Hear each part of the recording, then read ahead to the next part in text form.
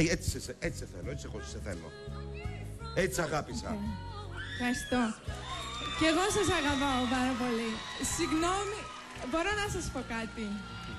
Συγγνώμη που εκτός από τραγουδίστρια είμαι και η μάνα. Συγγνώμη για αυτό.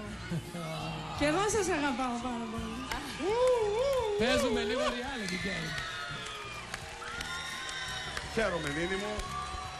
Αρχίζεις και μαθαίνεις εύκολα. Εύκολα, όχι. Αρχίζει και μαθαίνει εύκολα. Τα πουλάει όλα μια χαρά.